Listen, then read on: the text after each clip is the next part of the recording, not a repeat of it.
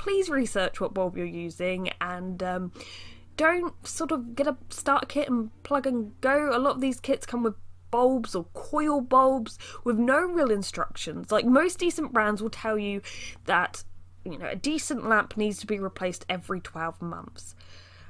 Some people who buy these kits don't even know that. They could have these lamps just going on for years and they still think their gecko's getting exposed.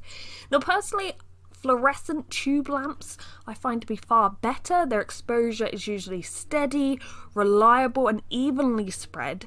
I would say avoid coil or spiral UV lamps. These can sometimes be far too intense, in a very small projection, and cause eye issues and even burns.